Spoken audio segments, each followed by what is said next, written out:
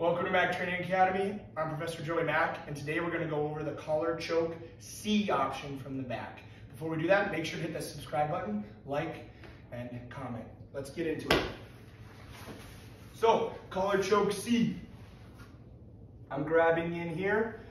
I'm holding the, I got my collar grip. Maybe I had his arm and I'm trying to pin it or post it or push it down. As I'm doing that, he's fighting me and he pushes his hand upwards. As he pushes upwards, I go with it. The arm's gonna go behind the neck, and I'm gonna use that as my pressure to finish. What that looks like is, so some details on it.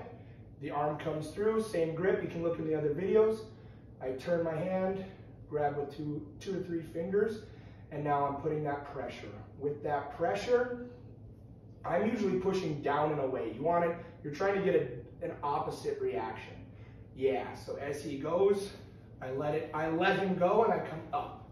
From the shoulder, I go behind his neck.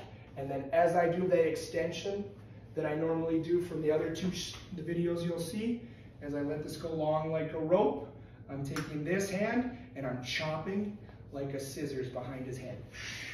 So that my hands, this is pulling along and limp, and this one's chopping. So one more time from a different angle so you can kind of see what the hand's doing. I'm here, I come behind the head.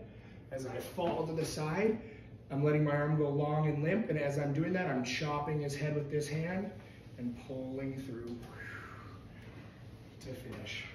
And that is collar choke B from the back position. Make sure to subscribe, like the video, and ask any questions you might have. Thanks.